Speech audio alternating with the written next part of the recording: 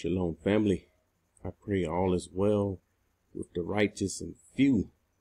Uh, this video here, you have to see this video. The name of this video, let's see how we are reliving 70 AD today. This is coming from the book of Josephus. And what I did, the Most High allowed me for the first time ever to load up a portion of our message from our last Shabbat class what I did, I put together, the Most High allowed me to put together the notes that I had for years concerning uh, Josephus and the war, what happened in 70 AD when the Romans came in and took them down. And so I've had these notes for for some years. I've I've I've used these notes in our class. Uh, I share some of them in a few videos, not many but I kept reading over them and, and, and the most high pressed upon me to put this all together and, and make it make it a class. Why? So that people could understand what happened before will happen again. You see here, uh, it's 70 AD, a history class. All right, quickly, what I'm gonna do here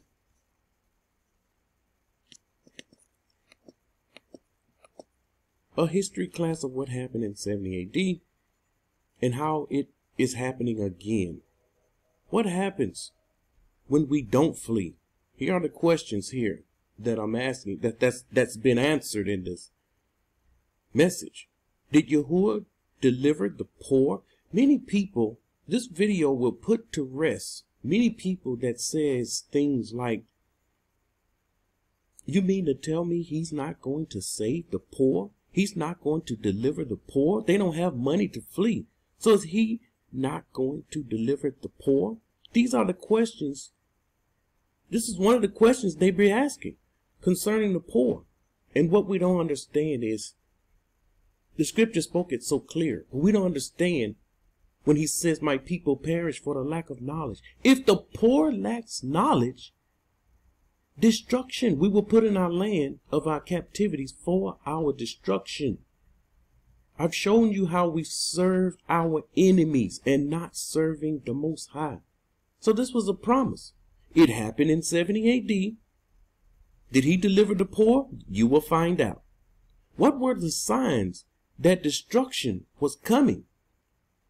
The Most High gave them signs. The Most High gave us signs today of destruction coming. One of the signs was a voice crying out daily, every day. Woe, woe to this, woe to this place, woe to Jerusalem, woe to this people, woe, woe. We're, we're crying out today, woe to the inhabitants of Babylon, woe. Babylon is, is, will be destroyed with fire, woe, woe. And see, Jerusalem was destroyed with fire.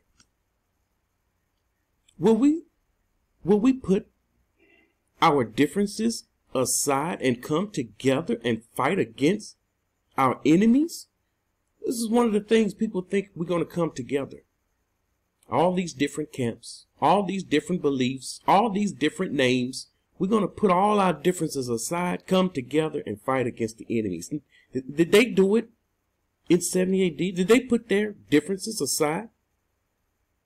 And that'll let you know if we're going to put our differences aside or not. Do we all, here's another question. People say, you left too early. You didn't wait to 2019. 2019 is the year of return. 2019, 400 year captivity is up. The Most High knows when the captivity is up. He will not wake us up before the captivity is up. He will visit us after the captivity. When you get a visit, captivity is over. No debating, no going back and forth with people. It's over. So th th they think that we left too soon and that we left out of Egypt together, so we're going to leave Babylon together. The question, did they leave in 7 AD? Did all of them leave together? So that these questions and more will be answered. This this video here, uh, warning is I had, it's a little it's a war. there was a war. So it's a little graphic. Parts of it, when you get to the middle, near to the end, it will get a little graphic. Um, Josephus gave details, and we went into the details of this battle, of what happened. One thing that I, I failed to mention in the video that I should have mentioned, our people today, we're, of course, we're celebrating feast days. I mentioned that. One of the feast days they're trying to celebrate is the Feast of Dedication. Listen, what we're reading about, that what they're celebrating, it's, it's desolated. So what are they celebrating? The place has been desolated again. And they're celebrating the Feast of Dedication? You see, these are people that's out of tune, out of touch with scripture and reality. The reality of nothing coming but famine and death among Gui. Nothing coming but Jacob's trouble. They don't understand it. So they're celebrating all these days, all these feast days. See, that was a very important point you need to know concerning these feast days that our people are celebrating today in the land of captivity. Let me make this clear. In the land of captivity. You're going to see how far off we are. But what you have to do is compare where we're at today in 70 AD. And you're going to see, uh, you're going to see a lot of what they went through. We're doing it now. We're going through it now. We're in the midst of it now. And you will have a remnant. There will be only a remnant that will heed the voice of the Most High. This is just, this is just how it is. This message, um, the reason I put it out, it's on archive. I'm going to leave the, the link here. It's on archive. Uh, our people don't know this. So when I went over this, I went over this to, to give, I put it together. I went over it before I gave it to my family. And I realized how important it is. And this is the reason that I put this up. This will be one of the most important videos you will hear. Our people are not discussing this in details. They may mention it, but they don't discuss it in details. I went into details.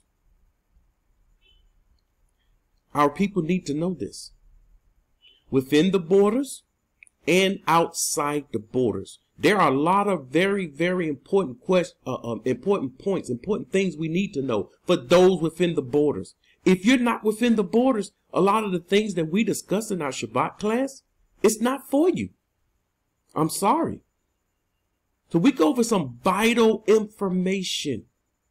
We're not playing. When the Shabbat comes, we're not playing on the Shabbat. We're preparing for the wilderness. This is what we're doing. Anybody doing anything else?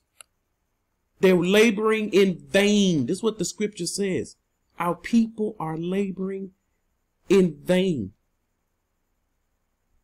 So after you watch this video, you will have a different mindset if you have your mind to come out, this will this will give you a boost to help you in your exit.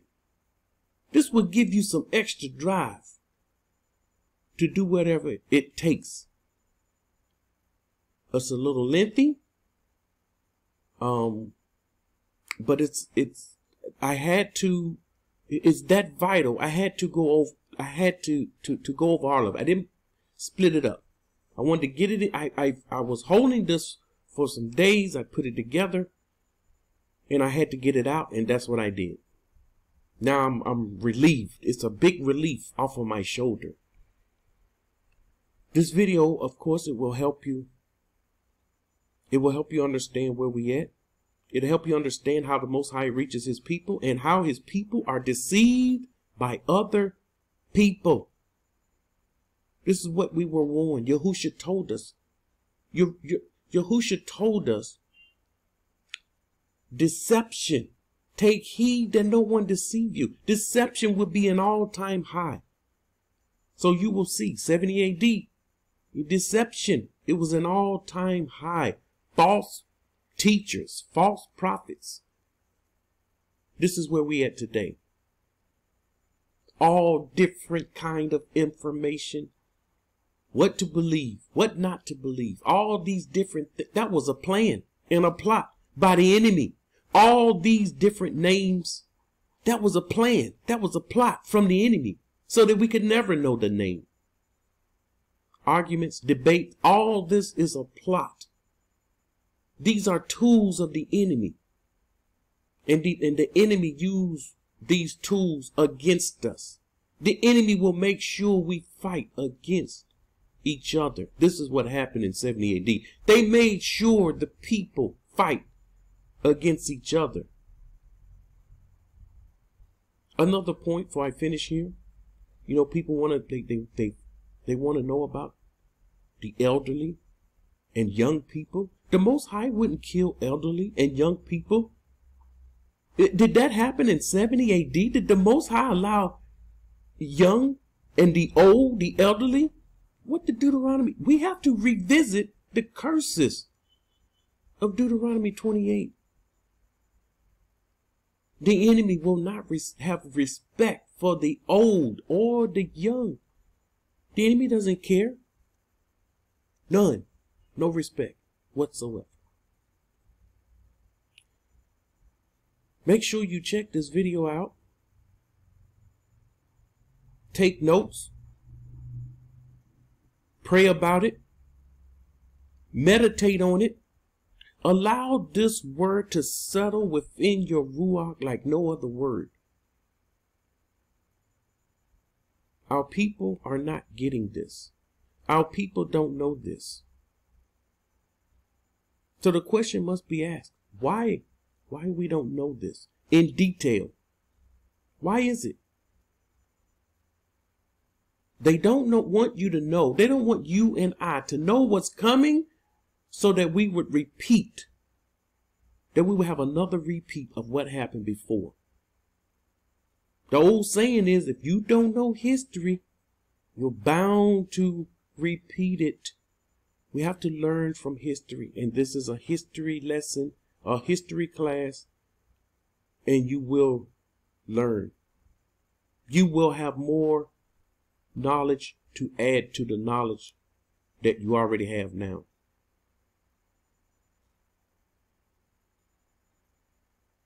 Okay, when you finish watching this video, leave a comment. Let me, uh, you don't have to leave it soon because you're going to need some time to, to allow this message to resonate.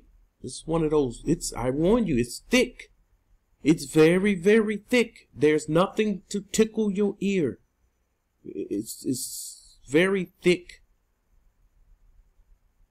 and some of our people will not be able to handle it. But this video will put to rest all these people making up these excuses.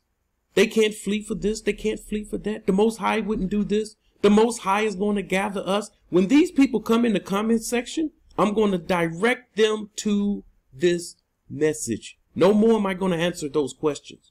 They will get directed to this message. Because I'm done answering that same question over and over. The Most High, I'm not going to allow this. He's going to gather us. Did he gather them in 70 AD? He's going to get that. That question will be answered. Did he gather us in 70 AD? Surely he wouldn't leave us to die. Surely. Remember, he's a loving and kind and gentle. This is a Christian mentality of the creator. That's, he's nothing like what the Christians teach and believe. To the contrary, they have it. That's just like the enemy, opposite.